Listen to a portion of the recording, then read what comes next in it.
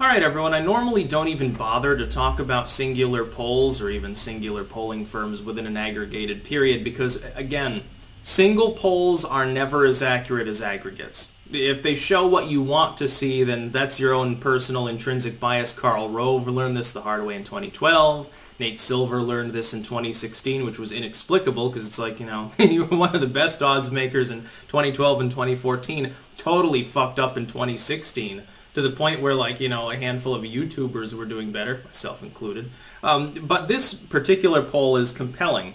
Mason-Dixon tends to be quite accurate. It's right up there with the top polling firms, roughly 85% accuracy in judging results.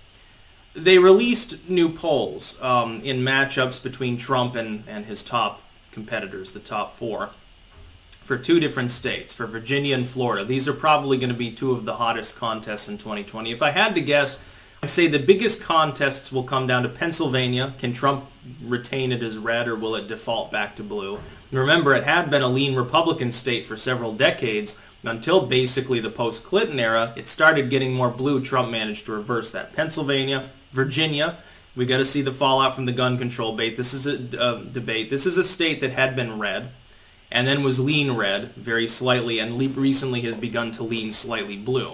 We've got to see, though, what the effect of Northam's policies are. You know, you've got the blackface governor is running things for the Dems there. And then you've got the possibility of an attempt to mass disarm people.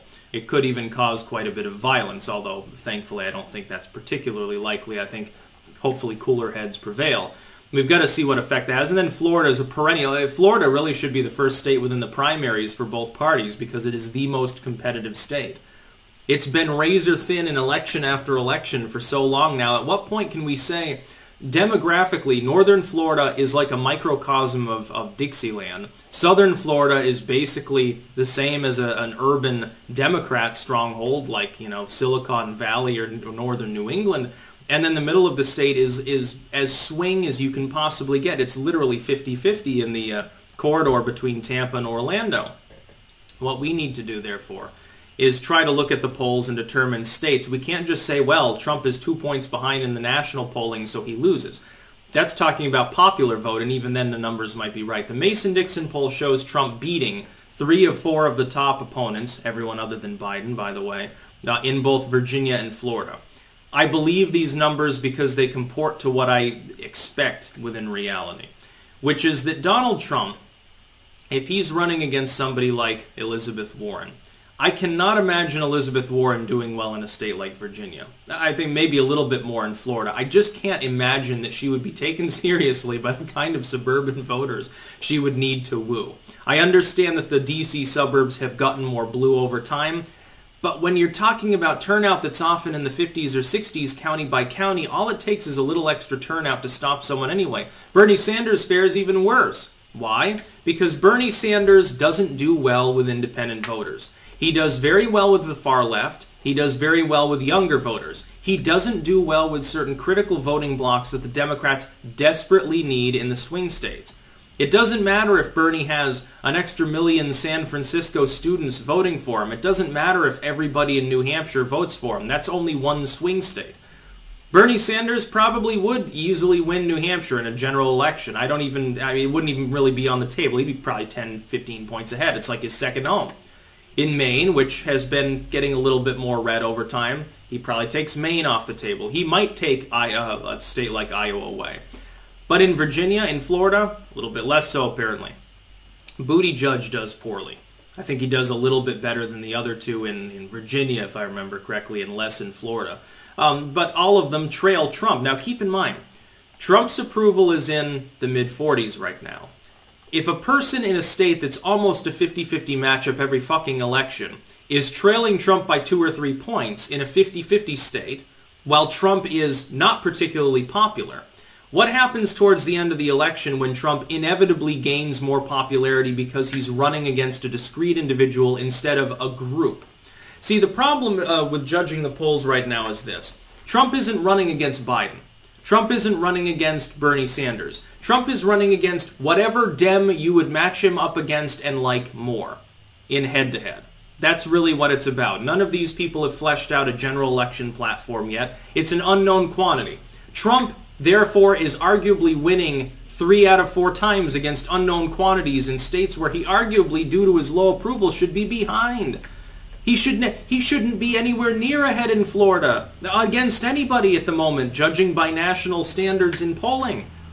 And the national aggregate, the one that shows Trump's approval, again, between 44 and 45, which is relatively mediocre, we know that that number is close to accurate. We've got a million aggregated data points.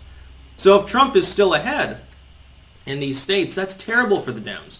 It shows low enthusiasm maybe for their party, number one.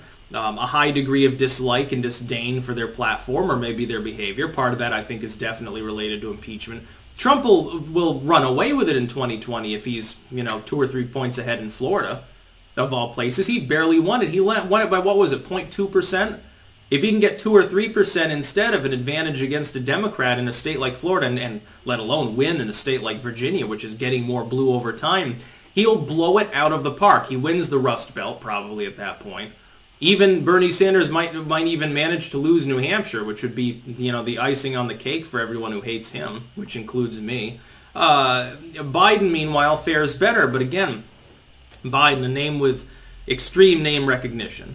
Um, the only moderate platform there at the top echelon that you could, well, you could argue that it's moderate. Obama nostalgia is arguably a strong candidate in, in some capacities, albeit not in verbal acuity.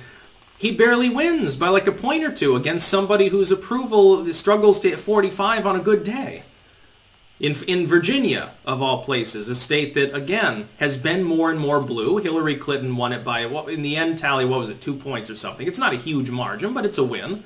She'll take it. She gets the electoral votes from it. Uh, that wouldn't be good. That would mean Biden is about as effective as Hillary was in 2016, and all these other people are losers. And would be like, you know, like Jimmy Carter reelection bid or Walter Mondale or something. If Trump can get 2 or 3% advantage in Virginia. That shows a significant swing. That's almost a five-point swing. And now, of course, this is one polling firm. I'm not putting too much stock in it. I would like to see more polling from these states. One thing is that the state-to-state polling has been so fucking sporadic, and we had this problem in 2016.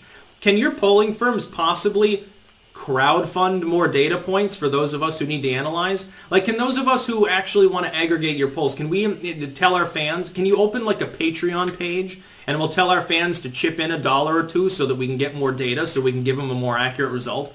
Can we get something going like a YouTube polling syndicate or something for this? I'm not even, I'm not even joking at this moment. I want more data points, especially from firms that are good, like Mason-Dixon's fine, YouGov, Quinnipiac most of the time, Emerson, some of these other groups, um, Rasmussen a little bit less. I wouldn't give anything to CNN or MSNBC at this point, but you know some of these polling firms are relatively decent. YouGov is number one. I want more data, uh, for, especially from Florida and Virginia. If we can tell, if we get enough data points from Florida, we can probably tell how the national election is going to go just from that one data point as long as we know roughly what Trump and his opponent's approval will be throughout the general.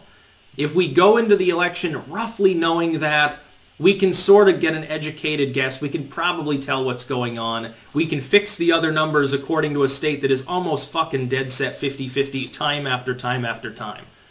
We can't do that right now, of course. We don't have enough friggin' polling numbers. I wish we did. Anyway, I expect Trump to win, um, not just based on this, although this is definitely something that... He, I mean, if you looked at the numbers, you'd be hearing all about the Mason-Dixon poll from every fucking news outlet right now if it had shown the opposite. If it showed that Trump trails all Democratic candidates, that would have been the news of the day.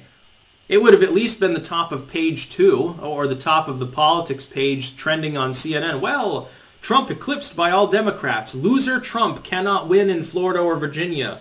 2020 election basically decided. That's what the news of the day would be. Meanwhile, in non-La La Land, uh, at the end of the year, various odds makers and political wonks weighing in, and a lot of them expect Trump to win. They're not very hopeful about the Democrats. If you think that there are a lot of black-pilled Trump fan Republicans right now, Democrats are looking worse, dude. They're way more demoralized. Of course, you wouldn't know that reading CNN. That's the whole point. They're still they're trying to prop up their long-term mythology that Trump colluded with a foreign state and can't possibly be reelected because he's orange man bad. It's just an attempt to cover their asses. And if he does win in 2020, at the very least, they can clickbait for the next four years. That's about all. Peace out.